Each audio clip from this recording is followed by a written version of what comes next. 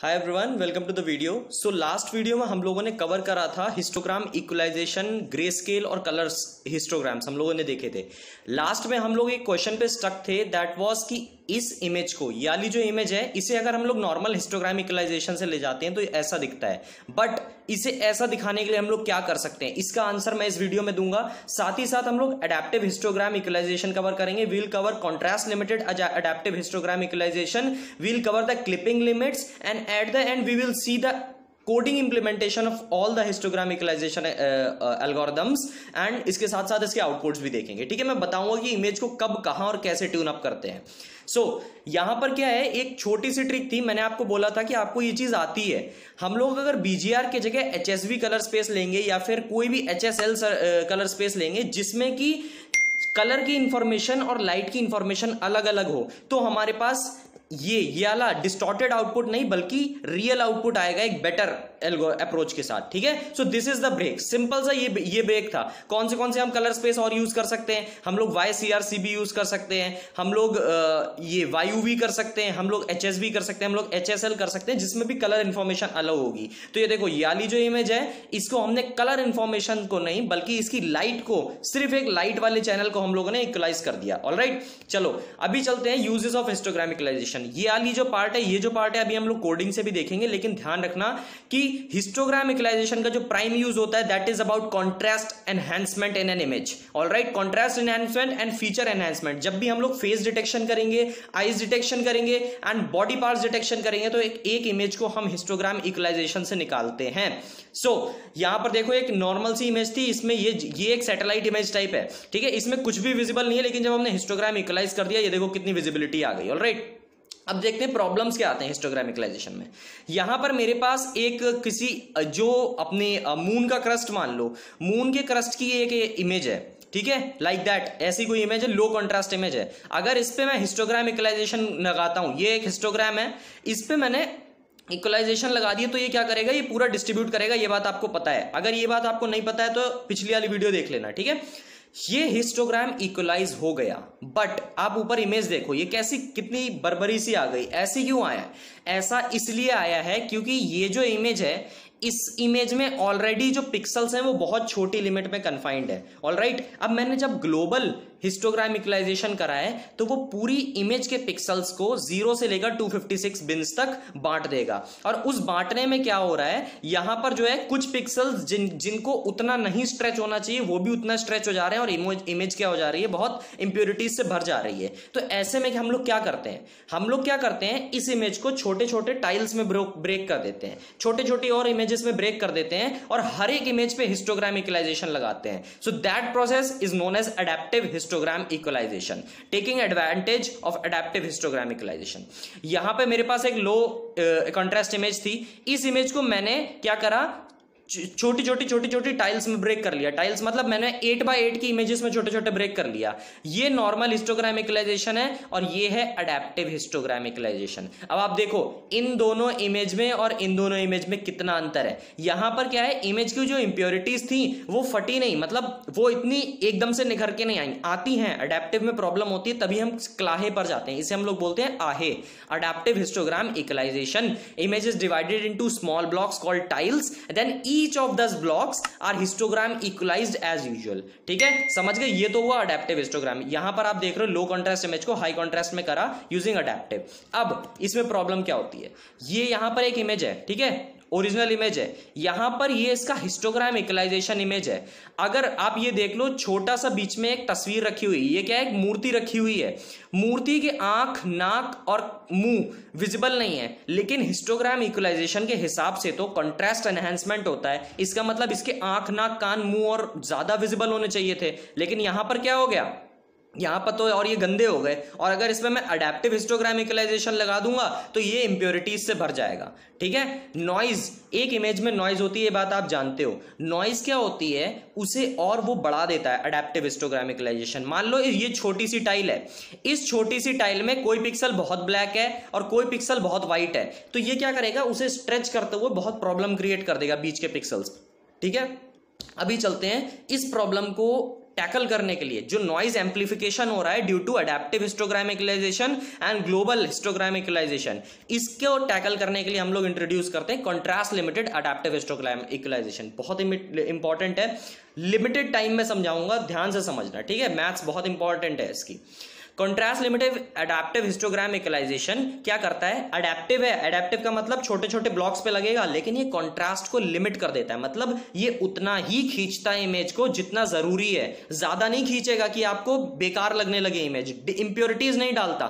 ध्यान रखना if any histogram bin is above specified contrast limit एक, ये मान लो ये मेरे पास हिस्टोग्राम की बिन्स आ रहे हैं, ठीक है? ये देखो, मैंने मान लो ये एक क्लिप लिमिट लगा दी। क्लिप लिमिट एक इसमें पैरामीटर होता है। मैंने लगाई कि हाँ भाई, ये एक क्लिप लिमिट है, ठीक है? तो क्लिप लिमिट पर क्या होगा कि जो जितने, जैसे मैंने मान लो लगा दिया कि सौ क्लिप लिमिट है कि 100 100 पिक्सल्स से ऊपर अगर कुछ भी ऐसा हो रहा है तो कॉन्ट्रास्ट उसमें ज़्यादा लग रहा है। तो आप क्या करो, उसे स्ट्रेच मत करो, बल्कि उसे उन सारे पिक्सल्स को कुछ और कर दो। तो ये कुछ और में क्या करता है, जैसे मान लो कि किसी पर्टिकुलर ग्रे वैल्यू की रेंज में, यहाँ पर आप देख रहे हो स्टार्टिंग की रेंज में मतलब बहुत ज़्यादा ब्लैक पिक्सल्स हैं। तो ये बहुत ज़्यादा ब्लैक पिक्सल्स को क्या करेगा नॉर्मल स्ट्रेच करने की जगह क्या करेगा क्लिप लिमिट के ऊपर से जितने भी पिक्सल्स हैं, उन्हें उठाएगा और नीचे यूनिफॉर्मली उन्हें बांट देगा।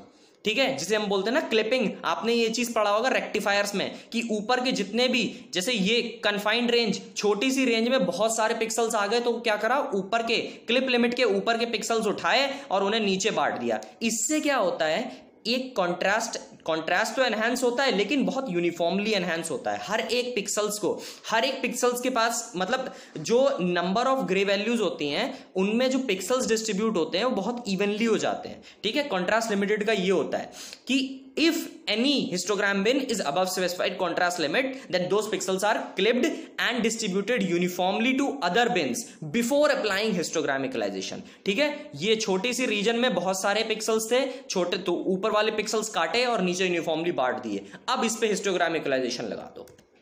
तो अभी देखते हैं क्लाहे का। मैंने आपसे कहा था ओरिजिनल इमेज में आँख, नाक, मुँह इस मूर्ति के एनहांस होने चाहिए थे। नॉर्मल हिस्टोग्राम इक्वलाइजेशन में इसने और गायब कर दिए। क्यों गायब कर दिए? क्योंकि ये ग्लोबल है। ठीक है? अडेप्टिव लगाओगे, इसमें इंप्योरिटीज आ जाएँगी। और ये देखो क्लाहे में। क्लाहे में क्या इसने करा? कॉन्ट्रास्ट को लिमिट करके रखा और सच्ची में कितना अच्छा निखारा हुआ आउटपुट दिया है। ठीक है? नाउ विदाउट वेस्टिंग टाइम आपको तीनों चीज़ें आ गई ग्लोबल एंड साथ ही साथ अडेप्टिव साथ ही साथ क्लाहे। अब इसको इंप्लीमेंट करते हैं कोडिंग में। So coming over to the screen यहाँ पर क्या है? मैंने एक टेस्ट डॉट पीएनजी रीड करा ली है। टेस्ट डॉट पीएनजी अभी मैं दिखा दूँगा कौन सी इमेज है। उसे मैंने ग्रे स्केल में कन्वर्ट करा है। अभी ग्रे स्केल कर रहे हैं, उसके बाद कलर करेंगे और उसके बाद क्लाहे करेंगे। ठीक है? तीनों इसकी इक्वलाइजेशन में सिखाऊँगा।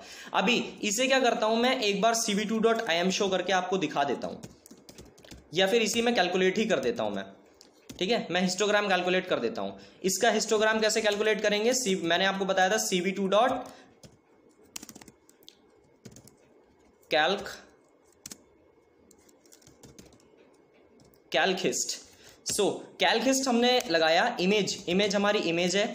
ये इसमें ध्यान रखना हम लोग टपल के फॉर्म में सारी सारी वैल्यूज़ हम लोग टपल्स के फॉर्म में देते हैं। चैनल्स हमें को, कौन सा? एक ही चैनल है हमारे पास तो हम ज़ीरो पास कर देंगे। मास्क मास्क हमें देना है नन मास्क अगर दे दोगे तो उतने पिक्सल्स कंसिडर नहीं होते हैं हिस्टोग्रामिकलाइजेशन में। ठीक है? हिस्टोग्राम का साइज़ मैंने आपको बताया था हिस्टोग्राम का साइज़ क्या होता है? Number of bins number of pixel values कितनी है? ज़ीरो से टू तक रेंज कर सकती है तो total two values and range कितना जा रहा है उनका? ज़ीरो से टू तक। तो ज़ीरो से 255 तक। यहाँ पर मेरे लिए कैलकुलेट हिस्टोग्राम जो फ़ंक्शन है, वो एक हिस्टोग्राम कैलकुलेट करके देगा इस इमेज के लिए। यहाँ पर ये इमेज क्या है? ग्रे स्केल इमेज है। अभी कलर का भी हम लोग देखेंगे। अब इस हिस्टोग्राम को दिखाने के लिए मैं क्या कर रहा हूँ? यहाँ पर मैटप्लॉट लिप यूज़ कर रहा हूँ। मैटप्लॉट लिप क्या है कि जो हमारे पास ग्राफ्स वगैरह होते हैं, जो भी बहुत सारी हमारे पास ग्राफिकल डेटा होता है ना, उसे यूज़ मतलब दर्शाने के लिए मैटप्लॉट लिप एक अच्छी लाइब्रेरी है। सो सिंपली ये इसे इंस्टॉल कर लेना। सिंपल बहुत सिंपल इंस्टॉलेशन है। इसका देख लेना। सो so, यहाँ पर मैं क्या करूँगा कि CV two dot I M show भी मैंने कर दिया है। इसके बाद मैं प्लॉट भी इसका शो कर देता हूँ। दो मेथड्स हैं सिर्फ़ इसमें। पीएलटी डॉट प्लॉट मैं अपना प्लॉट करने के लिए डेटा प्लॉट करने के लिए इसमें पास कर देता हूँ। And then PLT dot show that's all ठीक है? यहाँ पर हमने इंपोर्ट करा था पाई प्लॉट और पाई प्लॉट में हमने प्लॉट कर दिया सारा डेटा और शो कर दिया। जस्ट मैं इसलिए आपको दिखा रहा हूँ कि कैसा लगता है इसका हिस्टोग्राम ठीक है? अभी इसे रन करके देखते हैं।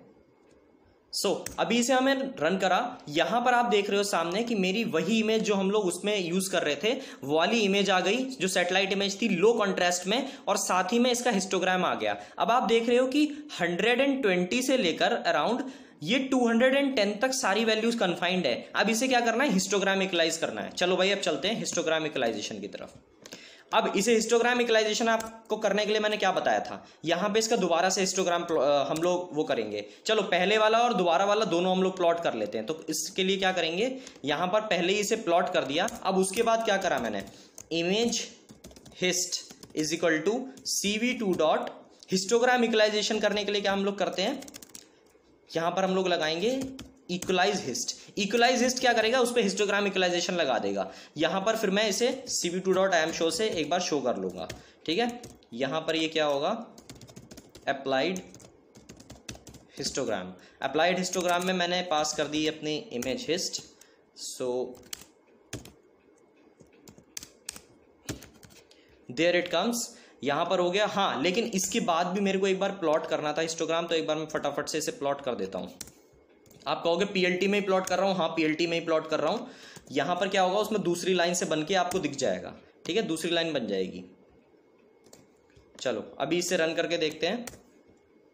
सो so, यहाँ पर देखो ध्यान से देखना ये जो ऑरेंज वाला आपके पास आ रहा है ये इक्वलाइज हिस्टोग्राम है। जो आपके पास ब्लू वाला आ रहा था वो वो इक्वलाइज हिस्टोग्राम नहीं था। अब दोनों इमेजेस में आप अंतर देखो। इसमें कितने कॉन्ट्रास्ट एनहेंस्ड फीचर्स आ रहे हैं और इसमें देखो क्या है सब कुछ ब्लर ब्लर सा दिख रहा है, सब कुछ कुछ भी कॉन्ट्रास्ट एनहेंसिंग नहीं है। लेकिन इसमें जैसा कि मैंने आपको बताया था प्रॉब्लम अराइज हो गई। ये देखो, यहाँ पर क्या है, बहुत घिचपिच इसने क्रिएट कर दी। इस घिचपिच को मिटाने के लिए हम लोग अडेप्टिव हिस्टोग्राम इक्वलाइजेशन लगाते हैं। ऑल राइट सो अभी इसके बाद यहाँ से निकलते हैं हम लोग। यहाँ पर मेरे लिए colour histogram colour histogram plot करना आपको सिखा देता हूँ। कलर हिस्टोग्राम का क्या होगा? सिंपल सी बात है B comma G comma R ये क्या होंगे? तीन मेरे पास चैनल्स आ जाएँगे। चैनल्स कैसे आएँगे? CV two dot split function से। यहाँ पर स्प्लिट स्प्लिट कौन सी करनी है? मुझे इमेज करनी है। ये बीजीआर में स्प्लिट कर देगा। उसके बाद क्या करना है? मैं तीनों को प्लॉट कर लूँगा एक एक करके। सिंपल सी चीज़ है यार। ये मैं फास्ट फास्ट आप लोगों को दिखा दे रहा हूँ। बी कर लिया, फिर जी प्लॉट कर लिया। और फिर उसके बाद मैंने आर प्लॉट कर लिया। ठीक है? प्लॉटिंग में सारी चीज़ें आपको पता है ना कैलकुलेटिस्ट में क्या क्या यूज़ होता है। सारी चीज़ों को प्लॉट कर लिया मैंने सेव कर लिया उसके बाद आप इसे भी एक बार रन करके देख लेते हैं। सो so, यहाँ पर देखो ये मेरे पास इमेज थी और इसके ये तीनों बी जी आर चैनल में सारे प्लॉटिंग आ गई मेरे पास, ठीक है? जितनी भी, जितने भी तीन चैनल्स थे ना, तीन अलग अलग कलर्स में उनकी प्लॉट्स आ गए। अब अगर इसे मैंने हिस्टोग्राम इक्वलाइज कर लेना है सिंपल इसे HSV स्पेस में कलर कन्वर्ट कर लेना, उसका वी चैनल इक्वलाइज करके फिर वापस में लगा देना। या फिर आपको अगर देखना है तो फिर मैं फटाफट से आपको दिखा देता हूँ। Image H S V equal to C V two dot C V T colour source क्या होगा हमारे पास? Image and code is cv2 dot sorry uh, bgr2h sv ठीक है? यहाँ पर मेरे पास एच एस वी आ जाएगा। तो H S H comma S comma V equal to C V two dot split C V two dot split कैसे अब मुझे करना है? इमेज एच एस वी को। इमेज एच एस वी अब मुझे सिर्फ़ वैल्यू चैनल पे ही हिस्टोग्राम इक्वलाइजेशन लगाना है। तो V is equal to C V two dot equalize hist equalize कौन सा चैनल करना है मुझे? वी वाला चैनल करना है। और उसके बाद दोबारा से इन्हें मर्ज कर दूँगा। तो merge merge H S V is equal to C V two dot merge merge function में मैं क्या पास करूँगा अपना? H comma S S comma V ठीक है? और उसके बाद मुझे क्या करना है? इस एच एस वी को दोबारा से बीजीआर में कन्वर्ट कर देना है। BGR enhanced is equal to C V two dot C V T colour source क्या है मेरे पास? BGR enhanced sorry merge H S V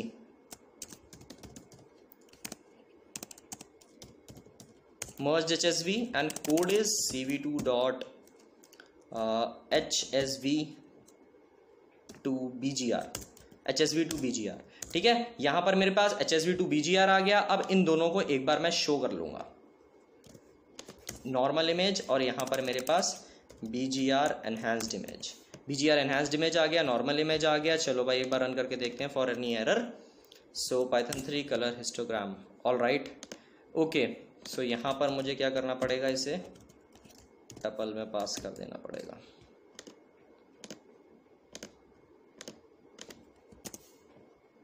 ये देखो, यहाँ पे मेरे पास ध्यान से देखना आउटपुट्स आप ऑब्ज़र्व करना, ये मेरे पास नॉर्मल विंडो है, ठीक है? मैंने सेम विंडो में इसे दिखा दिया है। आपको मैं एक मिनट रुको, बस एक सेकेंड में आपको आउटपुट्स डिफर करा के दिखा देता हूँ। विंडो नॉर्मल बस दैट्स इट मैंने आपसे क्या कहा था? एच में वर्क करना है। ये देखो, ये फिगर के हिस्टोग्राम्स थे। नॉर्मल फिगर ये था मेरे पास और उसे जब इक्वलाइज कर दिया हमने थ्रू वैल्यू चैनल तो देखो कितनी निखर की उसकी आँखें देखो, उसकी आँखें कितनी निखर गई, उसके लिप्स के पास देखो कितने सारे ग्रेडियंट चेंजेस आ गए। ये जो हेड के कुछ डेकोरेशन हैं, उसमें देखो कितने सारे ग्रेडियंट चेंजेस आ गए। So this is all about ये histogram equalization in colour images now क्लाहे apply करके एक बार देख लेते हैं, ठीक है? फटाफट से हम लोग क्लाहे अप्लाई करके देखते हैं एक बार। सो so, यहाँ पर कुछ भी नहीं है क्लाई अप्लाई करने में। यहाँ पर क्या है मैंने टेस्ट डॉट पीएनजी को रीड कराया है ग्रे फॉर्मेट में रीड कराया है। उसके बाद क्या है यहाँ पर ये जो कोड है मैंने गीक्स फॉर गीक्स से लिया है क्योंकि मेरा ही आर्टिकल वहाँ पे लिखा हुआ है। वो आर्टिकल मैंने ही लिखा है क्लाय वाला। सो क्लाई इज़ गल टू सी डॉट क्रिएट क्ला है। क्रिएट क्ला है मैंने आपको क्लिप लिमिट बता दी कि number of pixels clip limit में क्या देते हैं नंबर ऑफ़ पिक्सल्स की अगर इससे ज़्यादा नंबर ऑफ़ पिक्सल्स हैं तो वो सारे नीचे डिस्ट्रीब्यूट कर दो। यहाँ पर अगर आप पाँच दे दो दस दे दो इक्वली है। ठीक है? पाँच दे दो। ठीक है? ये अपने हिसाब से ध्यान लेगा क्लाहे का पहले हम लोग एक इंस्टेंस क्रिएट करते हैं क्रिएट क्लाहे से। इसमें क्लिप लिमिट हम लोग डिफाइन कर देते हैं। यहाँ पर मेरे पास क्ला, क्लाहे का इंस्टेंस आ गया। उसके बाद क्लाहे डॉट अप्लाई से हम लोग क्लाहे को अप्लाई कर देते हैं। ठीक है? फाइनली हमारे पास प्रोसीजर होता है। एक हम लोग नॉर्मल हिस्टोग्रामिकलाइजेशन भी इसके सामने खड़ा कर देते हैं। तो normal hist is equal to C B two dot equalize hist equalize मुझे किसे करना है? इमेज ब्लैक एंड व्हाइट को। ठीक है? तो नॉर्मल हिस्ट भी हमने निकाल लिया। इसके साथ साथ लगा देते हैं।